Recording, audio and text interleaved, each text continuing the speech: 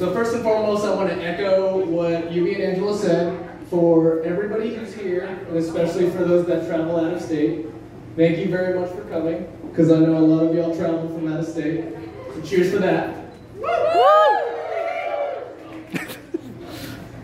like the DJ said, I am uh, Eubie's big brother, Esmond, and so I figured to give everybody a little bit of context of our relationship, I would take it back to us growing up.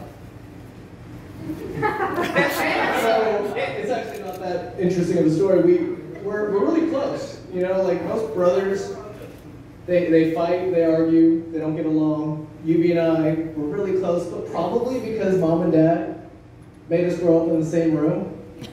Even though we had a pretty big house in the burbs, yeah. we shared rooms.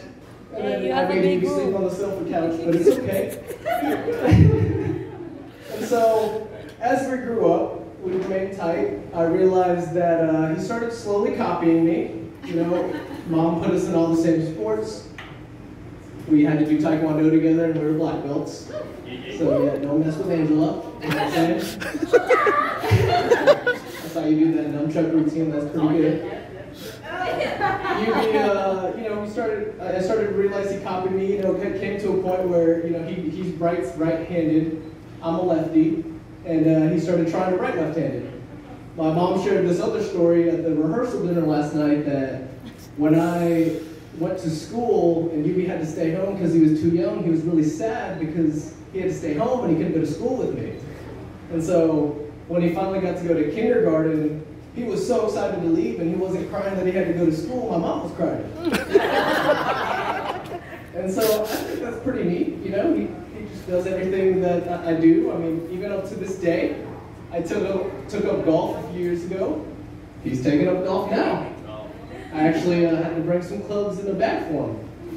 Uh, I got married six months ago. We're, we're, we're here today.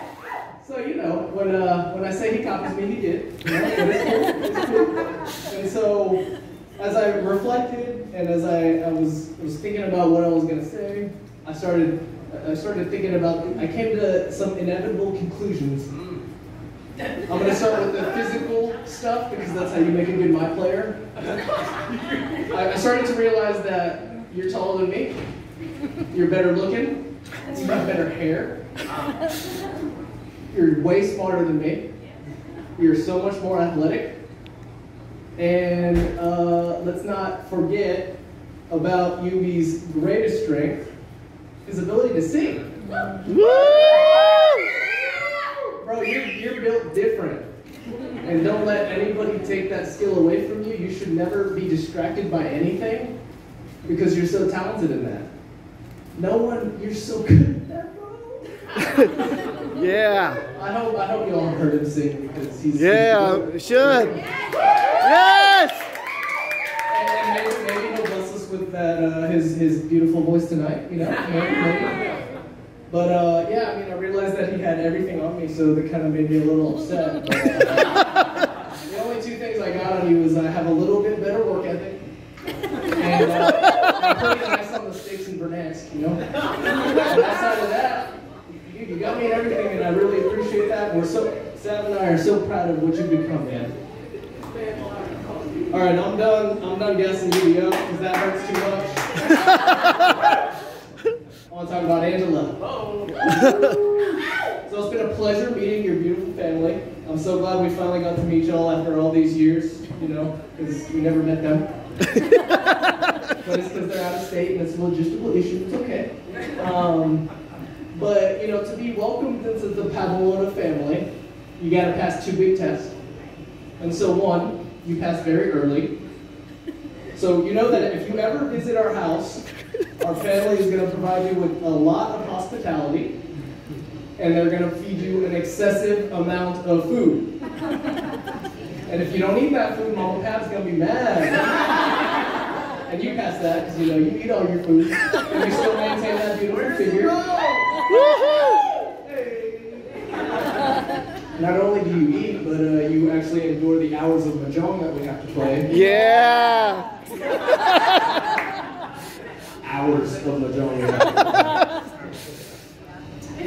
but the, the second test that you passed with flying colors was, was getting along with our sister Avery, because Avery is such a big part of our lives, and if you don't get along with her, well, you're gone.